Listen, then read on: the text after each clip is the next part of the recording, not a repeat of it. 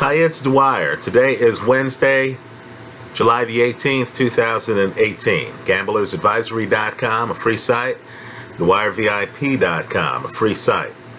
Let's talk boxing. In particular, let's talk about a historical opportunity that one fighter has that really is worth mentioning. But first, remember, the opinion you should follow should be your own. Just consider this video to be a second opinion from a complete stranger online. You know, first, just a quick commentary. You know, in boxing, a lot's missing right now in some divisions, right? I believe the situation is so good at cruiserweight. It's so good at cruiserweight that regardless of who wins the Usyk Gassiev fight, right? Either guy could win it. I like Usyk in that fight, but we'll talk about that in another in another video. But whoever wins that fight, understand both the winner and loser, in my opinion, has a very good chance, very good chance of winning the heavyweight title. Right? I have a couple of videos up. This video is really about Manny Pacquiao.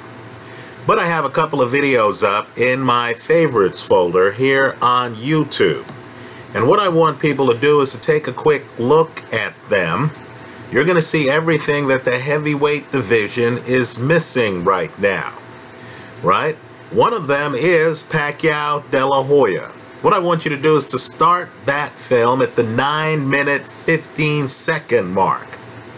And you're going to see Manny Pacquiao using foot movement, turning a bigger fighter, then coming inside and simply destroying him in one of the best performances I've seen by any fighter at any time.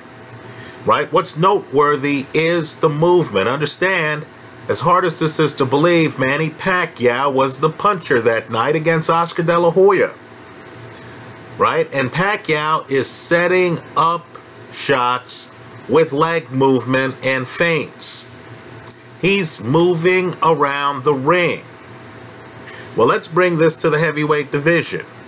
Next to that video in my favorites folder, I have a video, Muhammad Ali in his prime, blinding speed. I don't even want you to focus on the speed, folks. What I want you to do, halfway through the video, they start showing you Ali in his prime against fighters like Sonny Liston, who held a heavyweight title at the time they fought, Ernie Terrell, who had a share of the heavyweight title at the time they fought. And you're going to notice something that today, if you're watching Anthony Joshua and Deontay Wilder, you didn't know was possible. A heavyweight up on his toes. Moving around the ring. That's the first thing. Foot movement. Yes, it's possible even at heavyweight. Right? We're in a flat-footed, big, clunky fighter era. Right? Gone is the athleticism that comes with movement and spacing. You're also going to notice Sonny Liston, who had one of the best jabs in history, shooting jabs at Ali, who's in front of him, You'll notice Ali doesn't even have a hand up. The punches end right here. You're also going to notice something that seems to have been forgotten. I know we look at huge punching power. Joshua, Wilder, they're big punchers. No question about it. Young people watching the Ali films will be shocked at part of the tape. Folks, that's called a combination. Not a 1-2. Not this Vladimir Klitschko era, blind him with the left, throw the right hand. No, you're going to notice a heavyweight opening up with both hands. Throwing a combination. Right? I'm guessing combination fighters like Ray Leonard are looking at the sport today and wondering what happened. Understand, if you're a child of the 70s and 80s, I'm telling you, most of the fighters back then knew how to dance. That's what we called it. Dancing around the ring. Right? No one dances in the heavyweight division today.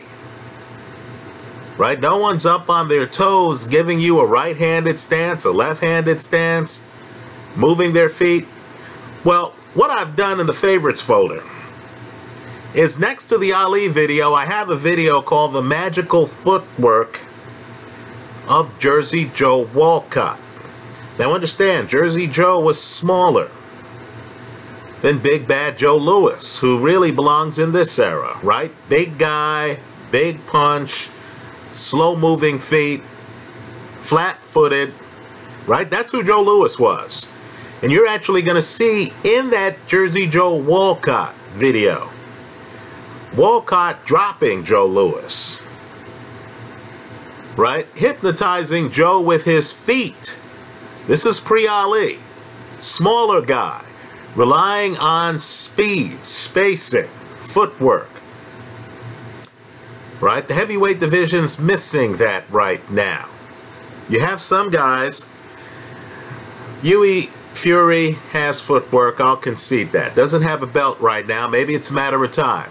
I've seen Joseph Parker up on his toes. All I'm saying to you is, you got Mairis Briedis. You got Alexander Usyk from the cruiserweight division. I don't see anybody who can stop them at heavyweight. I don't. Right? Gassiev throws so much more volume. So much more volume than, let's say, Deontay Wilder or Anthony Joshua that I, I wonder whether he could beat them at their own game, getting inside and throwing bombs. Well, let's talk about Manny Pacquiao. I know I picked Manny Pacquiao in the fight. Thank you for the huge viewership of that pre-fight video. But I got to tell you, I was watching the fight and I was astonished. I was astonished. Folks, it was all there. The footwork. Pacquiao's blessed. He's a freak athlete. The power. You went into this fight knowing that Lucas Matthysse is a big hitter. Even Matthysse's critics will acknowledge he hits hard with both hands.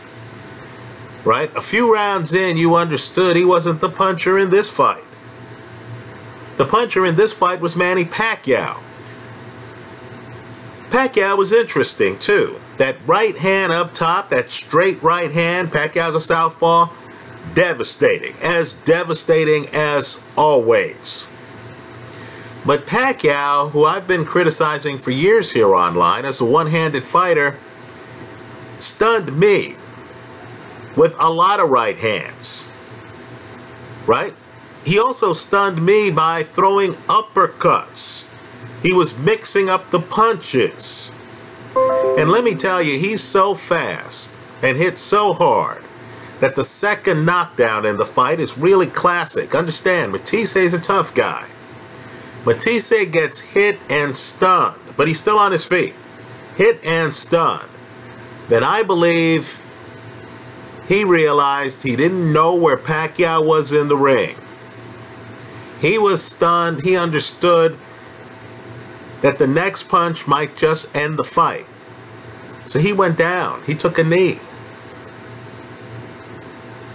A big puncher got dazed in a fight and was so overwhelmed by the speed and angles of his opponent, whether it's an Ali or a Pacquiao, right? The speed and the angles. Pacquiao's hitting them all over the place. That Lucas Matthysse understood, I'm dazed, I need to take a knee right here. Because if this guy lands one more punch while I'm dazed, I might end up in the hospital. What I want the world to do is to look hard at 39-year-old Manny Pacquiao. He's going to be 40 in a few months, folks. Right? Look hard at him. This guy right now should be at the center of the boxing universe. He has an unprecedented opportunity. Let's talk about what that is. Let me just say this. You know, in uh, marriages, I'm a divorce lawyer. I've heard this several times. There's something called a seven-year itch. right after seven years, you could be married to Miss America. Some guys are gonna start to wonder a little bit. They're gonna start to be a little bit bored. Some women are gonna look at their husbands. He could be Mr. America. And they're gonna start to be a little bit bored. That familiarity might not be as exhilarating at the end of year seven as it was at the start of the marriage. Now, dare I say, in boxing, it's my belief, one man's opinion, that boxing generation cycle every seven years, right? In other words, you look up on day one, you got a group of guys hanging around the throne. You have a group of guys sitting on the throne, you have a group of guys hanging around the throne. Seven years later, it's a different group. You'll have some all-time greats still hanging out there, right? Maybe a Mayweather, a Pacquiao. But the rest of the cast of characters are going to change. Right? Some of these unbeaten fighters will have lost fights and will have faded, will no longer be viewed as serious contenders. So, from this seat, every seven years or so, you have a new group of young lions prowling the forest, right? Or at least the ring. Now let's look at Manny Pacquiao. It's 2018. Let's remember the date. Right? 15 years ago. Folks, I'm not kidding. In 2003, here in the United States, that was during George W. Bush's first term. Right? Manny Pacquiao knocked out Marco Antonio Barrera 15 years ago. In 2006, Pacquiao KOs Erik Morales, avenging an earlier loss to Morales in a fight that really is a masterpiece by Morales. Right? Understand in 2008 and 2011, while I personally disagreed with these decisions, Pacquiao gets decisions over Juan Manuel Marquez. In 2008, 10 years ago, he then fights for the lightweight title against David Diaz, destroys him by knockout. Pacquiao then figuratively declares war on the higher weights. He then starts literally mowing down, right, like a lawnmower over grass, or like a bowling ball, knocking down pins he then starts mowing down a group of fighters that are very highly thought of. Many of them would end up in the Hall of Fame. What I'm going to do is name the names. Understand, as I name them, Pacquiao mowed all of these guys down. Oscar De La Hoya, Ricky Hatton, Miguel Cotto, Joshua Clottey, Antonio Margarito. Sugar Shane Mosley. He beats Mosley in 2011. Right? Remember that. 2011. Seven years ago. Of the guys I've named, De La Hoya retired. He's now big, big time as a promoter. Ricky Hatton retired. He's also behind the scenes. Miguel Cotto retired. Joshua Clottey, still lingering a bit, has his moments, did go to Australia and beat Anthony Mundine. Antonio Margarito suffered an eye injury in that Pacquiao fight. Hasn't really been the same since. Does come back and fight every now and then. Sugar Shane Mosley retired. Let's fast forward seven years. We're here in 2018. There is a new generation of fighters sitting on the throne or close to the throne. Very highly thought of. The argument I'm making here is that Manny Pacquiao, if he decides to give us boxing's version of Montezuma's Revenge, might be able to line up these guys like he did a generation ago and mow down many of them. Let's name them. Now understand, Pacquiao's a freak athlete. Some of these guys are big punchers. But I would argue that none of these guys, none of them, have the hand speed that Manny Pacquiao has right now at 39 years of age. Right? I would argue too that Manny Pacquiao today still has the timing, still has the power, still has the suddenness. I would even argue that with regard to most of these guys, Manny Pacquiao has the superior footwork, the superior foot speed. Let's go through them. Unbeaten IBF champion Errol Spence. Unbeaten WBA super champion Keith Thurman. Now let me say this. If Pacquiao fights Thurman now, Pacquiao should probably be favored in that fight because Thurman's having a very hard time coming back from a major injury. Hasn't fought for over a year right? So maybe calling out Keith Thurman here is a little unfair. You have also unbeaten WBO welterweight champion and perhaps the best in the sport pound for pound, Terence Crawford. Now let me say this. Crawford is a master technician. Masterful. Crawford probably knows all about that Floyd Mayweather tape. And Crawford's probably one of the few people who fully appreciates Mayweather's mastery of Pacquiao. Crawford probably is fully prepared to bend his head and to have a glove up to catch Pacquiao's straight left hand. Right? Crawford would be a very tough fight, no question about it. But understand, we're talking about the pound for pound best against a guy who's about to turn 40 years of age. A guy who mowed down a generation of fighters before Crawford. The idea that Pacquiao would be competitive against Crawford by itself is a victory for Pacquiao. I personally would be taking Pacquiao in the fight because I think Pacquiao is too fast for Terence Crawford. Understand too with Pacquiao as Matthysse who gets dropped three times, who spits out his mouthpiece the third time he's dropped, knows well. Pacquiao hits hard. Folks, there's not a lot of margin for error. I understand Pacquiao doesn't have a lot of stoppages over the last 10 years. Okay, fair enough. Many of you aren't satisfied with the fact that he knocked Chris Algieri down, what, five or six times? Many people aren't satisfied with the idea that Shane Mosley hits the canvas and post-fight interview says, you know, that might be the hardest I've ever been hit, but was able to get up and last the rest of the fight. Understand, signs of Pacquiao's power pop up every now and then.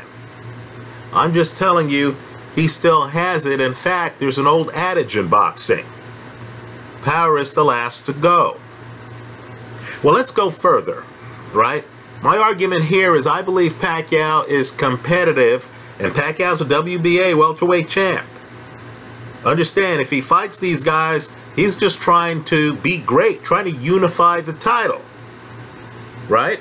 My point to you is against unbeaten Errol Spence, unbeaten Keith Thurman, and unbeaten Terence Crawford, I believe Pacquiao would hold his own against each of the fighters. Right? Of a generation after a generation where Pacquiao beat several guys who are now in the Hall of Fame. Well, let's dare to dream here. And YouTube Nation, I'm going to call on you to tell me where I'm wrong in the comment section to this video. I think Pacquiao, who is more sudden and has more volume, would have a real shot against unbeaten 154-pound WBC champion Jermall Charlo. Right? Charlo these days has reduced his volume He's now loading up on punches. I'm just telling you, as Oscar De La Hoya knows, as Ricky Hatton knows, as Miguel Cotto knows, as Antonio Margarito knows, that strategy doesn't work against a guy who's as fast and who hits as hard as Manny Pacquiao. Jermell Charlo has hand speed. I'm just saying it's not Pacquiao level hand speed. Let me go further. You have an unbeaten IBF and WBA champion, Jarrett Hurd. Now this would be an interesting fight because Hurd is front foot heavy. He doesn't like to back up. He's physical. An argument can be made that a front foot heavy physical Jeff Horn was able to muscle and mess up Manny Pacquiao, right? Make the fight close enough where the judges gave the fight to Jeff Horn, right? Jarrett Hurd, the idea would be that many of these guys aren't physical. They don't come in and grab you and rough you up. Jarrett Hurd would. But here's the catch. Jarrett Hurd is not defensively blessed. He's not right?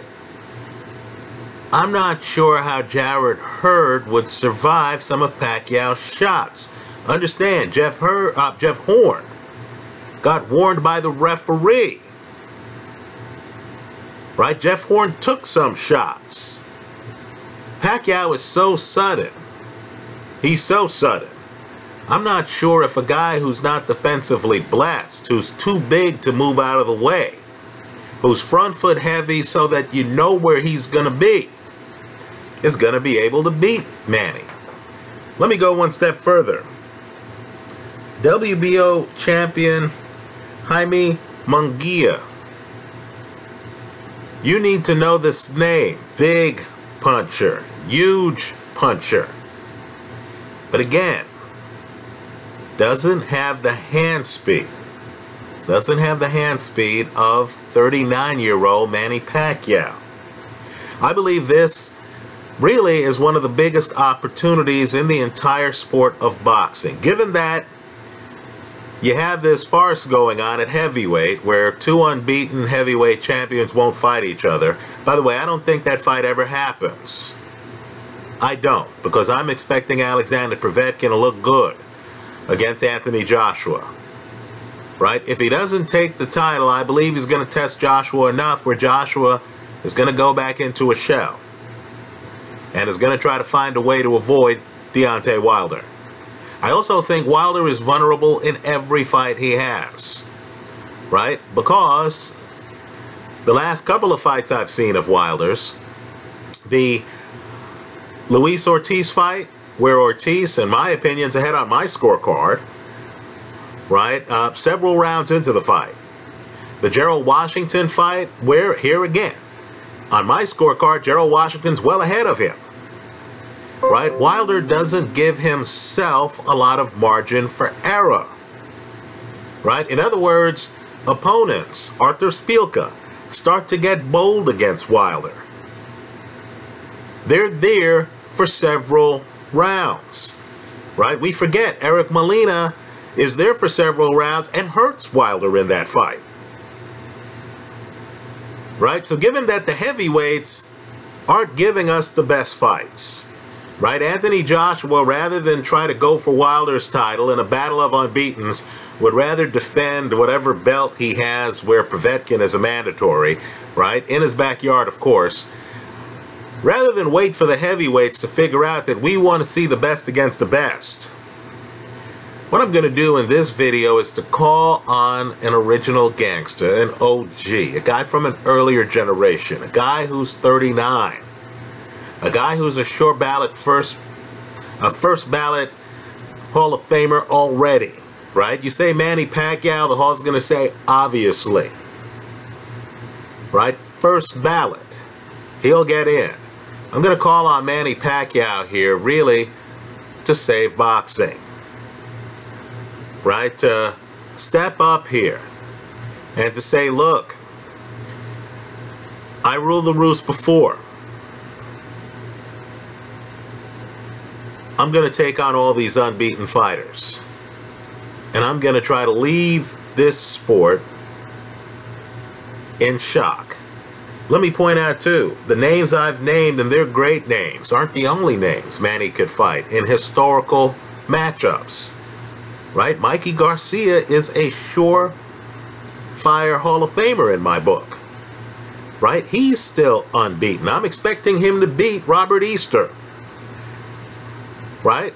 Manny could pivot and say, hey, I'm going to take on Mikey because both of them, quite frankly, have won titles in at least three different weight classes. Think about it. With Manny, it's more than double that number. So, if it's possible for a 39 year old to hold most of the cards in the sport of boxing, let me just argue here in this video that that person holding the cards right now is Manny Pacquiao. I was watching a fight, the New Orleans fighter, uh, Pobray, I'm sorry if I'm butchering his name. He was calling out Manny Pacquiao. He's unbeaten. Right? Everyone wants to fight Manny Pacquiao. Until they do. And then they're in the ring and they understand there's a difference between their hand speed and Manny Pacquiao's hand speed. There's a difference between their punching power and Manny Pacquiao's punching power. We got a gift. Timothy Bradley just happened to be doing the fight. Bradley talked about his third match against Pacquiao. He talks about how he throws a double jab. He was having a good round. He threw a double jab, and as he's throwing the second jab of the double jab, he understood he was in trouble right? Manny Pacquiao then delivered the boom on him. The rest of the fight just wasn't the same, right? With Pacquiao, you don't have a margin of error. I think it's a mistake to look at what Floyd Mayweather did and then to think that other guys can duplicate it. Let's be real here too. Right, longtime viewers know I picked Mayweather over Pacquiao, but even I wonder what would have happened had the two guys fought five years earlier, right? The biggest mistake Manny Pacquiao made was in not having that fight go forward. Let's remember, Mayweather was magnanimous. Mayweather said, look, let's split the purse 50-50. This was even though Mayweather was the bigger pay-per-view draw at the time. Then they got into an argument over drug testing and that fight fell apart. By the time they fought years later, Pacquiao had already lost, right? Some bouts. Had they fought closer to Pacquiao's domination, that's the word, of Oscar de la Hoya, who knows what would have happened.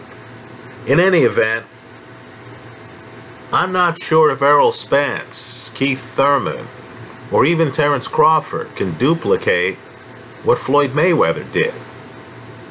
Hell, I'm not sure if one floor up at 154, Jermell Charlo, Jarrett Hurd, or Jaime Munguia could duplicate what Floyd Mayweather did. Manny, line these guys up. Let's see which one of these guys is still standing. That's how I see it. Let me hear from you. I hope you leave your comments in the comment section to this video. And let me say this too. And I know I've offended a lot of Anthony Joshua and Deontay Wilder fans. Before you leave your comments, just look at the Muhammad Ali in his prime blinding speed YouTube video in my favorites folder. Right?